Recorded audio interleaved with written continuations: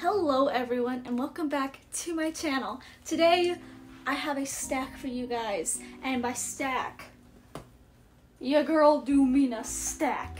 So if you've watched some of my older videos, and by older I mean like a month or so ago, I stated that I had been putting my manga collection on hold for a little bit simply because I went through a very bad period of not reading but buying. I bought so much manga that I had to get this basket here.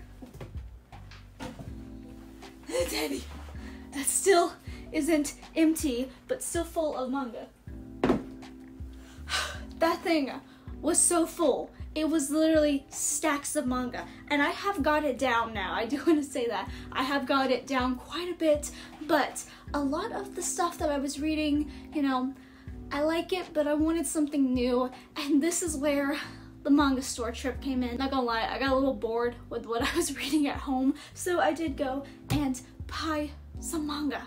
So let's go ahead and get into this haul because it's a pretty chunky one and I do want to say that I have been reading a lot of webtoons recently, and I definitely feel like webtoon has really influenced this haul. So let's just let's just state that real quick before we get into this because I did pick up a few new series that I usually wouldn't pick up just because they remind me of like a webtoon. First one that I picked up, I actually picked up volumes one and two of this series because it just sounded really good. It sounded like a webtoon. You don't know who I am. I love a good like cheeky romance. So I picked up Marmalade Boy. This is actually one that I have seen floating around my manga friends pages. So basically, Miki's life was pretty ordinary until the day her parents told her they were swapping spouses with another couple. Thanks to this unconventional arrangement, Miki now has two step parents and a hot step brother. You Miki isn't thrilled with her new situation, and Yu is super cute. He's also kind of a jerk. See, the thing is, I don't necessarily like the siblings thing, but we'll, we'll give it a try. It looks very neat. I like the orange, like like you see on the back there's like the little print of an orange right here. It's pretty. I'm gonna give it a try. It looked really interesting so i bought the first two volumes.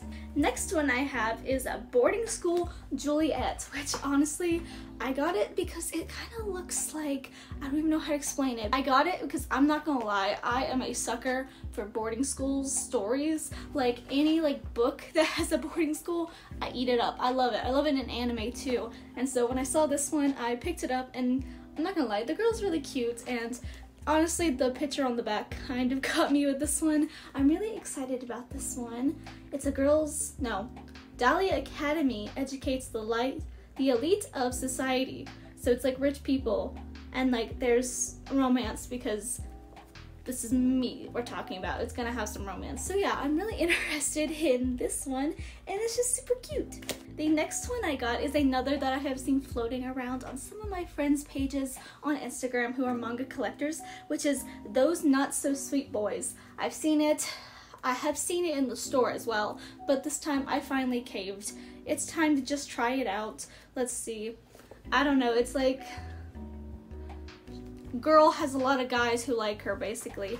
We'll give it a try. I'll let you guys know if I like these by the way because they are new and if you want to know that you can definitely check out my Instagram page right here. Right here because I do reviews. If you didn't know, I do reviews. And next is Lovesick Ellie episode volume number eight. This has quickly become one of my favorites to read. Like at first it was a little slow for me, but I really like the jokes. I really like the humor in this. I really like it. I'm not gonna lie to you guys. It's a little iffy sometimes because she is a bit of a pervert, but I just I like how funny it is. Ellie is a very funny character, and so yeah, had to pick this one up. I am so so thrilled that it well not thrilled that it's almost ended but like i'm thrilled to almost have the complete set because i love this so much i need to know how it ends i need to know Next is another favorite of mine that I've seen a lot of people showing off their collections of, which is volume 6 of Imakoi, Now I'm in Love. Once again, this is another one that I really, really love. This one's really good. Can't lie to you guys, it's a good little romance story. I'm not going to read it because I'm not going to flip through it and find spoilers. But yeah, this one is very, very good. This is also one of my favorite series, so I would highly suggest checking out Imakoi and Lovesick Ellie if you haven't already. Next, we have volume two of Honey Lemon Soda. And if you saw the video where I picked up the first uh, volume of this, I did say I don't particularly love it, and I have to stick by that. With the second volume, I don't particularly like it, and I did make a TikTok talking about one of the big reasons why I don't like it. It's also on YouTube somewhere as a short, so check that out. But I'm gonna need I'm gonna need more volumes before I can fully judge you because as of right now, this is not very high on my list. I collected anyway. And if you know, it's been almost a year of my collection process of Horimiya. Horimiya is one of my favorite animes. It's just, it's so good. If you've seen it, you know, it's just so good. And I have struggled, and I do mean struggled, to find these mangas. I don't know what it is. My store, my Barnes & Noble, always has volumes like 1 through 6, and they never have the other volumes. I don't know what it is, but they're skimping out on me. And so finally, I did find these two. I know there's a couple more and then I will have the complete series, but as of right now, we have the Pretty Pink and the Blue, um, volume 11 and 12. And next we have the OVA, I believe, kind of side story of Tokyo Mew Mew, which is Tokyo Mew a la mode. So this is Berry. She is kind of a part of the original team, but she's not featured, I don't believe, in the anime, but she is someone who does work with the Tokyo Mew Mew team and Ichigo, and for a while she takes place as Ichigo as the leader, and she is very powerful like Ichigo, and I'm not gonna lie, I really like this one. I thought I was gonna hate it because usually I hate when like authors do like a side story around the whole show but like new characters. But I genuinely like this one. I feel like Berry here really does fit with the theme. And also, can we talk about the fact her name is Berry, like strawberry, and Ichigo is also strawberry. They're both literally just berry and strawberry. Cheeky, haha, funny this little rascal has been avoiding me for the longest time, but I finally found it today because if you guys know, I picked up volume 4 in a used bookshop store or whatever, and I only got it for like maybe $4, so I could not find volume 3 for the longest time.